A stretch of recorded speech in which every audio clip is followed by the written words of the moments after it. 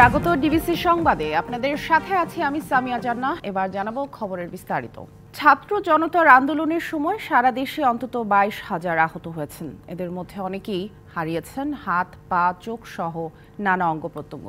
কিন্তু দেশের সরকারি ফিজিওথেরাপি হাসপাতাল না থাকায় চিকিৎসা বঞ্চিত হচ্ছেন অনেকেই। পুনর্বাসনের জন্য আহতদের ভর্তি হতে হচ্ছে বেসরকারি হাসপাতালে। বিশেষজ্ঞদের মতে, আহতদের পুরোপুরি সুস্থ হয়ে ওঠা ও পুনর্বাসনের জন্য প্রয়োজন দীর্ঘমেয়াদী ফিজিওথেরাপি চিকিৎসা। কিন্তু দেশে সরকারি কোনো পূর্ণাঙ্গ ফিজিওথেরাপি কলেজ বা হাসপাতাল না থাকায় আহতদের বিভিন্ন প্রাইভেট হাসপাতালে ভর্তি হতে হচ্ছে। সম্প্রতি এক সভায় খোদ স্বাস্থ্য উপদেষ্টাও স্বীকার করেন এই সীমাবদ্ধতার কথা। যেটা আমাদের নাই, সেটা হলো ফিজিওথেরাপি তো রোবোটিক ফিজিওথেরাপি যদি না থাকে, তাহলে আমরা কোথায় পাবো? যদি আমরা ওই পুরো ইকুইপমেন্টটা যদি বাংলাদেশে নিয়ে আসতে পারি। আহত ছাত্রদের দাবি, ব্যক্তিগতভাবে ফিজিওথেরাপি চিকিৎসা করার সামর্থ্য নেই অনেকেরই। ফলে চিকিৎসা বঞ্চিত হচ্ছেন বহু আন্দোলনকারী। ফিজিওথেরাপি সেন্টারগুলো আমাদের প্রতিনিয়ত দরকার। গভর্নমেন্টের থাকা প্রয়োজন, এটা তো কর্তব্য।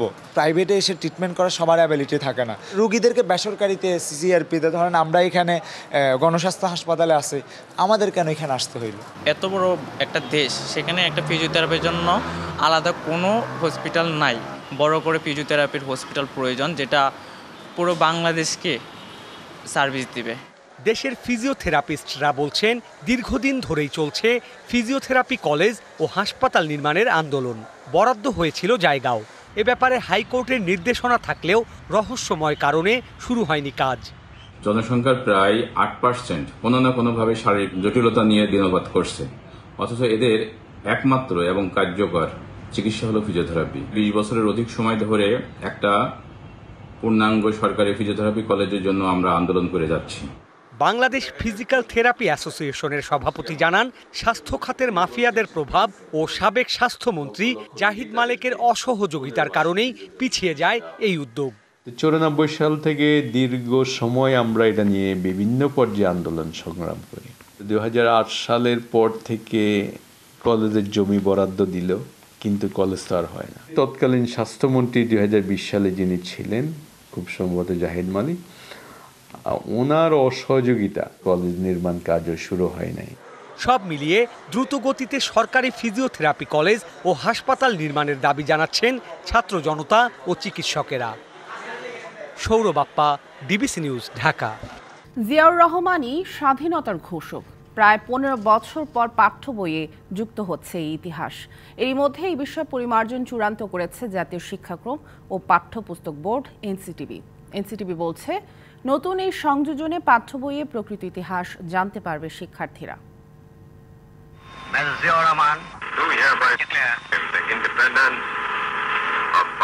উনিশশো একাত্তর সালের ছাব্বিশে মার্চ দিবাগত গভীর রাতে চট্টগ্রামের কালুরঘাট বেতার কেন্দ্র থেকে স্বাধীনতার ঘোষণা দেন তৎকালীন মেজর, পরে বিএনপির প্রতিষ্ঠাতা জিয়াউর রহমান। পরের দিনও এমন ঘোষণা দেন তিনি। ওই কালুরঘাট বেতার কেন্দ্রের কলাকুশলী এবং বহনযোগ্য ট্রান্সমিটার দিয়ে শুরু হয় স্বাধীন বাংলা বেতার কেন্দ্রের যাত্রা। বিএনপি জিয়াউর রহমানকে স্বাধীনতার ঘোষক বললেও তাকে ঘোষণা পাঠকারী হিসেবেই ইতিহাসে উল্লেখ করে আওয়ামী লীগ সরকার। সরকার পতনের পর এবার পাঠ্য বইয়ে ইতিহাস পরিমার্জনে স্বাধীনতার ঘোষক হিসেবে জিয়াউর রহমানকেই পেতে যাচ্ছে শিক্ষার্থীরা। তিনি অত্যন্ত সাহসিকতার সাথে জীবন বাজি রেখে তিনি স্বাধীনতার ঘোষণা দিয়েছিলেন। প্রথম একবার ছাব্বিশে মার্চ দিয়েছেন, আবার সাতাশে মার্চেও দিয়েছেন। সুতরাং আমরা এই তথ্যগুলি আমরা জাতির পাঠ্যপুস্তকে যথাযথভাবে সন্নিবেশ করার জন্য আমরা মনোনিবেশ করেছি। এই পরিমার্জনের মাধ্যমে আমরা যথাযথভাবে ইতিহাস তুলে ধরতে পারব শিক্ষার্থীদের কাছে। এনসিটিভি বলছে বিগত সময়ে শিক্ষার্থীরা পাঠ্য বইয়ে সঠিক ইতিহাস জানতে পারেনি। আমরা তো জানি তাজউদ্দিন আহমেদ তার এক ভাষণে বা ভারতের প্রধানমন্ত্রী বা ভারতের প্রতিনিধিদের বক্তব্য আমরা দেখেছি যে তারা বাংলাদেশের স্বাধীনতার ঘোষণার জন্য মেজর জিয়াউর রহমানের নাম বলেছেন। তাজউদ্দিন আহমেদও স্বীকার করেছেন তার ভাষণে। তো এই তথ্য তো বিভিন্নভাবে আছে। কেন এগুলো, এগুলোকে অস্বীকার করা হলো? এটা আমাদের আমাদের আমারও প্রশ্ন। কিন্তু আমাদের জাতির জাতির বীরদের অবদান নিয়ে আমরা কেন বিতর্ক করব? এই বিতর্কের অবসান হওয়া দরকার এবং আমার মনে হয় যে পরবর্তী প্রজন্ম এই বিষয়গুলো যেন আর কোনো বিভ্রান্তিতে না থাকে। সেই জন্যই আমাদের এই প্রচেষ্টা। পরিমার্জিত ইতিহাস সম্বলিত নতুন এই বইয়ের ছাপার কাজ শুরু হচ্ছে শিগগিরই। Monirul Sohag DBC news Dhaka. স্বতন্ত্র বিশ্ববিদ্যালয়ের দাবিতে রাজধানীর সায়েন্স ল্যাব এলাকায় ব্লকেট কর্মসূচি পালন করছে ঢাকা বিশ্ববিদ্যালয় অধিভুক্ত সরকারি সাত কলেজের শিক্ষার্থীরা। অন্তর্বর্তী সরকারের বিশ্ববিদ্যালয় সংস্কার কমিটি প্রত্যাখ্যান করে শিক্ষার্থীরা বিশ্ববিদ্যালয় রূপান্তর কমিটি গঠনের দাবি জানান। বলেন, এসব দাবি মেনে না নেওয়া পর্যন্ত ব্লকেট কর্মসূচি অব্যাহত থাকবে। স্বতন্ত্র বিশ্ববিদ্যালয়ের দাবিতে মঙ্গলবার বেলা বারোটায় ঢাকা কলেজের সামনে জড়ো হন ঢাকা বিশ্ববিদ্যালয়ের অধিভুক্ত সাত কলেজের শিক্ষার্থীরা। পরে মিছিল নিয়ে সায়েন্স ল্যাব বোর্ডে আসেন তারা। অবরোধ করা হয় রাস্তা। বিভিন্ন পয়েন্টে পয়েন্টে দেওয়া হয় ব্যারিকেড। স্লোগানে স্লোগানে তুলে ধরা হয় নানা দাবি। এ সময় অন্তর্বর্তী সরকারের গঠিত বিশ্ববিদ্যালয় সংস্কার কমিটি বাতিল করে বিশ্ববিদ্যালয়ের রূপান্তর কমিশন গঠনের দাবি জানান শিক্ষার্থীরা। একটি শিক্ষা কমিশন গঠন করে সাত কলেজকে পূর্ণাঙ্গ সাহিত্য বিশ্ববিদ্যালয়ে রূপান্তর করতে। সাত কলেজকে বিশ্ববিদ্যালয় রূপান্তর প্রকল্পে একটা কমিশন গঠন করবে। উঠে আসে ঢাকা বিশ্ববিদ্যালয়ের অধিভুক্ত সাত কলেজ নিয়ে স্বতন্ত্র বিশ্ববিদ্যালয় করার জোর দাবি। স্বতন্ত্র বিশ্ববিদ্যালয় গঠন করার একটি কমিশন গঠন করা সেখানে তারা আমাদেরকে সংস্কার কমিটি নামক একটি কমিটি চাপিয়ে দিয়েছে। আমরা একটা স্বায়ত্তশাসিত পাবলিক বিশ্ববিদ্যালয় চাই সাত কলেজের সমন্বয়। নির্দিষ্টকালের জন্য আমাদের আন্দোলন এইভাবে চলতেই থাকবে যতদিন না পর্যন্ত আমাদের দাবি মানবে। প্রথম দিনে পাঁচ ঘণ্টা চলে এই ব্লকেট কর্মসূচি। বুধবার সকাল নয়টা থেকে বিকাল পাঁচটা পর্যন্ত পরবর্তী কর্মসূচি ঘোষণা করা হয়। আগামীকাল সকাল নয়টা থেকে বিকেল পাঁচটা পর্যন্ত অবরোধ কর্মসূচি চলবে এবং শিক্ষার্থী ভাই বোনদের মধ্যে আহ্বান থাকবে। আপনারা কেউ কেউ যদি খাবার রান্না করতে পারেন, রান্না করে নিয়ে আসবেন দুপুরে খাওয়ার জন্য। ঢাকা বিশ্ববিদ্যালয় অধিভুক্ত এই সাত কলেজে এক থেকে দেড় লাখ শিক্ষার্থী অধ্যয়নরত রয়েছে। Sabbir Roz, DBC news, Dhaka. উন্নত চিকিৎসার জন্য বিএনপি চেয়ারপারসন বেগম খালেদা জিয়াকে নভেম্বরের শুরুতেই বিদেশে নেওয়া হবে। দুর্নীতি মামলা থেকে নির্বাহী আদেশে মুক্তি পাওয়ার আড়াই মাস পর তাকে চিকিৎসার জন্য বিদেশ নেওয়া হচ্ছে। বিএনপি ও খালেদা জিয়ার ব্যক্তিগত চিকিৎসকের সূত্রে এ তথ্য জানা গেছে। এরই মধ্যে বিষয়টি পররাষ্ট্র মন্ত্রণালয়কেও জানানো হয়েছে। বেগম জিয়াকে প্রথমে লন্ডন ও পরে সেখান থেকে তৃতীয় একটি দেশে মাল্টি ডিসিপ্লিনারি মেডিকেল সেন্টারে নেওয়া হবে। বেগম জিয়ার চিকিৎসকদের পক্ষ থেকে এরই মধ্যে বিভিন্ন হাসপাতালে যোগাযোগ করা হয়েছে। ছাত্র জনতার অভ্যুত্থানে পাঁচই আগস্ট আওয়ামী লীগ সরকারের পতনের পর ছয়ই আগস্ট খালেদা জিয়াকে নির্বাহী আদেশে মুক্তি দেওয়া হয়। আওয়ামী লীগ সরকারের আমলে দুর্নীতির দুই মামলায় তাকে কারাদণ্ড দেওয়া হয়েছিল। দুই বছরের বেশি সময় তিনি কারাবন্দী ছিলেন। দুই হাজার বিশ সালের পঁচিশে মার্চ আওয়ামী লীগ সরকার নির্বাহী আদেশে খালেদা জিয়ার সাজা স্থগিত করে শর্ত সাপেক্ষে মুক্তি দেয়। এরপর ছয় মাস পর পর আবেদনের পরিপ্রেক্ষিতে তার সাজা স্থগিত করে মুক্তির মেয়াদ বাড়াচ্ছিল সরকার।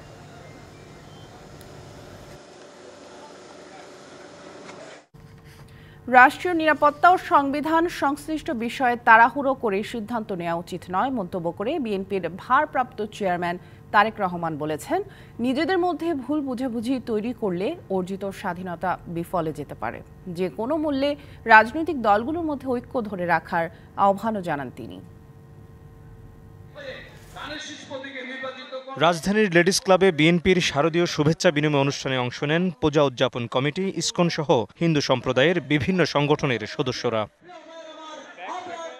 পাঁচই আগস্টের পর মন্দির ও হিন্দু সম্প্রদায়ের নিরাপত্তায় বিএনপির ভূমিকা নিয়ে সন্তুষ্টি জানান সনাতন ধর্মাবলম্বী নেতারা। ধর্মকে পুঁজি করে যারা বিভেদ তৈরি করতে চায় তাদের রুখে দেওয়ার ঘোষণা দেন বিএনপি নেতারা। ধর্মকে মূলধন করে তারা নিজেরা লাভবান হচ্ছে তাদের দল লাভবান হচ্ছে তাদের গোষ্ঠী লাভবান হচ্ছে। কিন্তু যাদেরকে মূলধন করে রাজনীতি করছে তারা সবচেয়ে বেশি ক্ষতিগ্রস্ত বাংলাদেশ। নতুন বাংলাদেশ নির্মাণ করবার যে সুযোগ আমাদের সামনে উপস্থিত হয়েছে তাকে যেন আমরা সঠিকভাবে ব্যবহার করতে পারি সেই দিকে আমাদের ঘনিষ্ঠ লক্ষ্য রাখতে হবে। এখন আবারও সেই চক্রান্ত শুরু হয়েছে। আমার বিশ্বাস যে এই দেশের ছাত্র জনতা আবারও সেটাকে তারা রুখে নেবে। লন্ডন থেকে ভার্চুয়ালি যুক্ত হন বিএনপির ভারপ্রাপ্ত চেয়ারম্যান তারেক রহমান। পরাজিত শক্তি ষড়যন্ত্র করছে জানিয়ে আহ্বান জানান চক্রান্ত রুখে দেয়ার। জনগণের রাজনৈতিক এবং অর্থনৈতিক ক্ষমতায়ন নিশ্চিত করার বিষয়টি উপেক্ষিত থাকলে অন্তর্বর্তীকালীন সরকারের সকল সংস্কার কার্যক্রম জনগণের প্রশ্নের মুখে পড়বে। আপনাদের প্রতি বিনীত আহ্বান, পলাতক স্বৈরাচারের পৃষ্ঠপোষক এবং তাদের দোসরদের কোনো উস্কানিতে দয়া করে পা দেবেন না। কোনো গুজব গুঞ্জনে দয়া করে কান দেবেন না। সংবিধান সংশ্লিষ্ট বিষয়ে তাড়াহুড়ো করে সিদ্ধান্ত না নেওয়ার পরামর্শ দেন তিনি। রাষ্ট্র পরিচালনার ক্ষেত্রে যে বিষয়গুলো সরাসরি রাষ্ট্রীয় নিরাপত্তা কিংবা সরাসরি সংবিধানের বিধি বিধানের সঙ্গে সংশ্লিষ্ট সেই সব বিষয়ে সিদ্ধান্ত নেওয়ার ক্ষেত্রে তাড়াহুড়া পরিহার করে একটি সুচিন্তিত সুবিবেচিত প্রসূত পদ্ধতি অনুসরণ করা হলে ভবিষ্যতে উত্থাপিত যে কোনো ধরনের জটিল প্রশ্ন কিংবা পরিস্থিতি মোকাবেলাও সহজ হবে। ভোটের অধিকার নিশ্চিত না হওয়া পর্যন্ত আন্দোলন অব্যাহত রাখারও ঘোষণা দেন বিএনপির ভারপ্রাপ্ত চেয়ারম্যান। সেহেতু নিজেদের মধ্যে ভুল বুঝাবুঝির তেমন কোনো অবকাশ আছে বলে বিএনপি মনে করে না। Mohammad Hussain DBC news Dhaka. সাবেক কৃষিমন্ত্রী উপাধ্যক্ষ আব্দুস শহীদকে রাজধানীর উত্তরা থেকে গ্রেপ্তার করেছে পুলিশ। রাতে উত্তরার দশ নম্বর সেক্টর এলাকা থেকে তাকে গ্রেপ্তার করা হয়। সাবেক মন্ত্রীর অবস্থানের খবর পেয়ে প্রায় চার ঘণ্টা অভিযান শেষে উত্তরায় তার নিজ বাসভবন থেকে বের করে নিয়ে যায় পুলিশ। বৈষম্য বিরোধী আন্দোলন চলাকালে হত্যার ঘটনায় করা মামলায় তাকে গ্রেপ্তার করা হয়। আব্দুস শহীদ দ্বাদশ জাতীয় সংসদ নির্বাচনে মৌলভীবাজার চার থেকে নির্বাচিত হন। তিনি ওই আসন থেকে টানা সাতবার সংসদ সদস্য নির্বাচিত হয়েছিলেন। তিনি বঙ্গবন্ধু শিশু একাডেমির কেন্দ্রীয় কমিটির সভাপতি এবং আওয়ামী যুবলীগ কেন্দ্রীয় কমিটির প্রেসিডিয়াম সদস্য। ঘূর্ণিঝড় ডানার প্রভাবে নওগাঁয় ফসলের বেশ ক্ষতি হয়েছে। ঝোড়ো হাওয়া আর বৃষ্টিতে নুয়ে পড়েছে ধান গাছ। চাষের জমিতে বহু জায়গায় এখনও জমে আছে পানি। আগাম শীতকালীন সবজিরও ব্যাপক ক্ষতি হয়েছে। এতে সবজি বাজারের দাম আরও চড়া হওয়ার আশঙ্কা করছেন কৃষকরা। মাসখানেক বাদে এসব ধান ঘরে তোলার কথা ছিল চাষিদের।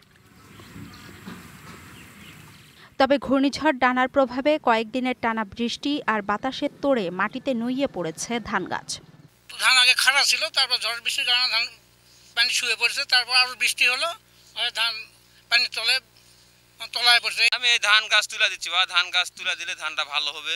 ওই ঘূর্ণিঝড়ের কারণে পড়ে গেছে এটা এখন ক্ষতি মনে করা লাগবে আমন ধানও মোটামুটি অর্ধেক আমার মানে একেবারে শুয়ে পড়ছে। কাটা আমার মানে হেভি অসুবিধা। শুধু ধান নয় ক্ষতির মুখে পড়েছে শীতকালীন সবজিও। চাষিরা বলছেন বৃষ্টির পানিতে নষ্ট হচ্ছে ফুলকপি শিম মূলা সহ শীতকালীন শাকসবজি যার প্রভাব পড়তে পারে পাইকারি ও খুচরা বাজারে। বৃষ্টিতে এই কপি এই মৌসুমের এই যে পালং শাক আপনার এই মূলার শাক সরষার শাক হ্যাঁ তারপরে কপি তো নষ্ট হয়ে গেছে তো পাশে দেখতেছেন আর কি। এই ফসল এটা করতে আবার অনেক সময় লাগবে। এই জন্য বাজারে আমদানি কম হচ্ছে। আমাদের ফসলের অনেক ক্ষতি হয়ে গেছে। কর্মকর্তারা বলছেন সমস্যার সমাধানে চাষিদের পরামর্শ দেয়া হচ্ছে। কৃষক যেগুলা আগাম লাগিয়েছিল তাদেরকে পুনরায় আমরা এই সবজি লাগানোর পরামর্শ দিচ্ছি। আমাদের এগুলাই বাড়তি একটু নিলেই মানে যত্ন নিলেই আমাদের এই যে এটা হয়েছে এটা পুষিয়ে ওঠা সম্ভব। চলতি মৌসুমে নওগাঁয় রোপা আমন ধানের আবাদ হয়েছে এক লাখ ছিয়ানব্বই হাজার হেক্টর জমিতে এবং তিন হাজার হেক্টর জমিতে চাষ হয়েছে শীতকালীন সবজি। DBC news desk. ভ্রমণ নিষেধাজ্ঞায় ধস নেমেছে রাঙামাটির পর্যটন শিল্পে। পর্যটক শূন্য হয়ে পড়েছে পার্বত্য চট্টগ্রাম। একশো কোটি টাকার বেশি ক্ষতির কথা জানান পর্যটক খাত সংশ্লিষ্টরা। দ্রুত ভ্রমণ নিষেধাজ্ঞা তুলে দেওয়ার দাবি জানিয়েছেন তারা।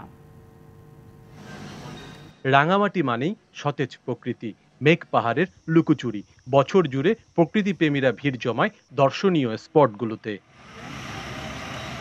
তবে পর্যটন মৌসুমেও রাঙামাটির আকর্ষণীয় স্পটে শুনশান নীরবতা, ঝুলন্ত সেতু, পলোয়েল পার্ক, আরণ্যকে নেই পর্যটকের আনাগোনা, মেঘে ঢাকা সাজেক ভ্যালিতেও একই অবস্থা।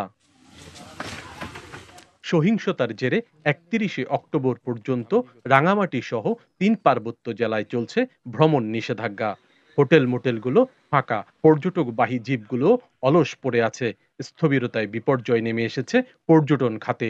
কেউ ব্যাংক লোন নিয়ে আছেন ব্যাংকের সবাই ব্যাংক লোনের সুদ আসছে তারা পরিশোধ করতে পারছে না। এই নিষেধাজ্ঞাটা নিয়ে আমরা চিন্তিত রুজি রোজগার মানুষদের সবগুলো নিয়ে সব ব্যবসা নিয়ে এটার উপর নির্ভর করে।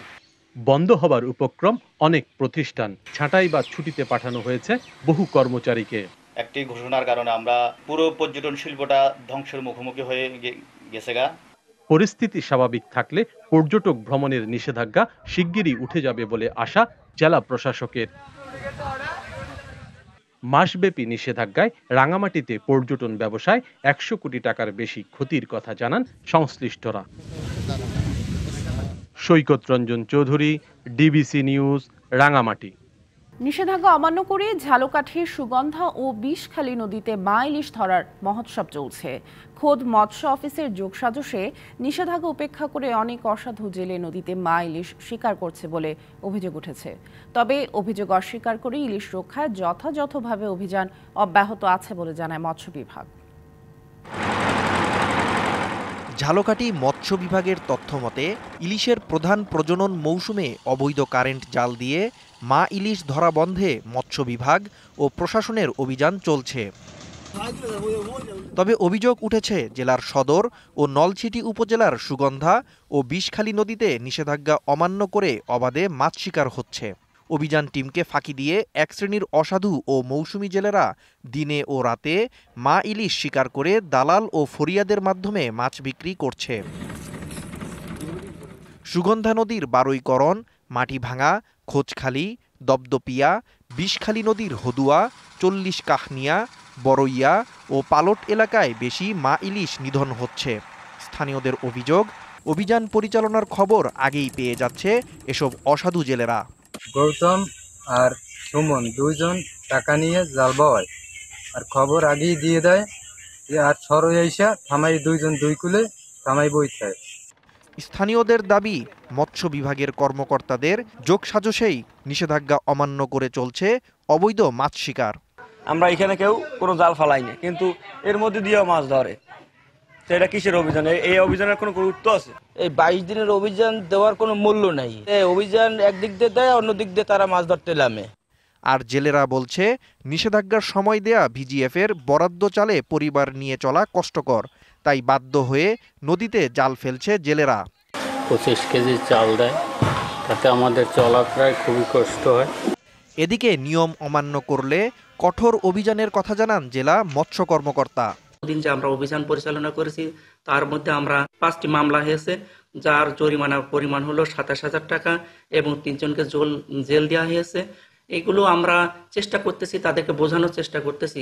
তারপরও কিছু গ্যাপ থাকে এই গ্যাপের ভিতরে, তারা এই মাছগুলো ধরতেছে। মৎস্য বিভাগ জানায়, তেরোই অক্টোবর থেকে আটাইশো অক্টোবর পর্যন্ত ঝালকাঠি জেলায় তেতাল্লিশটি মোবাইল কোর্ট, চারশো আটানব্বই কেজি ইলিশ এবং পাঁচ লাখ মিটার জাল উদ্ধার করা হয়েছে। ডিভিসি নিউজ ডেস্ক নিরাপদ প্রজননের জন্য চলছে ইলিশ ধরায় বাইশ দিনের নিষেধাজ্ঞা। এতে কর্মহীন হয়ে পরিবার নিয়ে বিপাকে ভোলার দুই লাখ জেলে। অভাব অনটনের মধ্যেও আছে এনজিওর কিস্তির চাপ।